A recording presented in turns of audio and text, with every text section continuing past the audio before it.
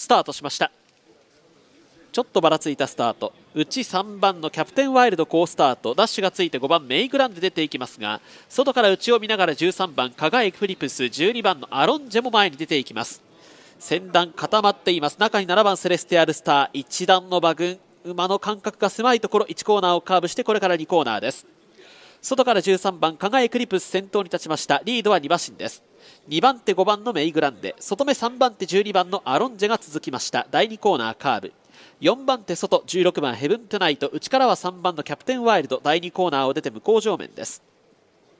中段の前に7番セレステアルスターそのすぐ外に10番コスモメイプルその後ろ1馬審査4番雪のエルドール差がなく9番クイーンズゴールドすぐ外14番はつらつ日光並んでかわして上がっていく15番ネーム・ユア・ポイズン後方から進出開始内に1番のホープ・プラウドがいてあとは6番のアルバニアカフェ2番スペシャルタレント2馬身後ろ11番の高市ホワイト最高峰8番のロードクラウド最初の 1000m は1分2秒1で通過して3コーナーカーブです。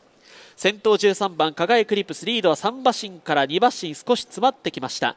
2番手は内に5番のメイグランデ外に15番のネーム・ユア・ポイズン。後方からすでに3番手まで上がっています。その後ろ4番手集団一塊外から押して押して上がっていく2番のスペシャルタレントが一気に先段めがけて上がっていきます。残り400を切って馬群が凝縮。第4コーナーをカーブして直線コースに入ります。先頭粘っている輝クリプス2頭分外からかわしに行く5番のメイグランデ。さらには15番のネーム・ユア・ポイズン広がってきました。その後ろ4番手争いアロンジェ内をついてこようとしているのがキャプテンワイルド。オーストからは14番のはつらつ日光など前の争いは抜けた15番のネーム・イア・ポイズン。うち13番の輝クリプス2番手。3番手争いは広がって大接戦。先頭は15番ネーム・イア・ポイズンゴリ。2着13番輝クリプス。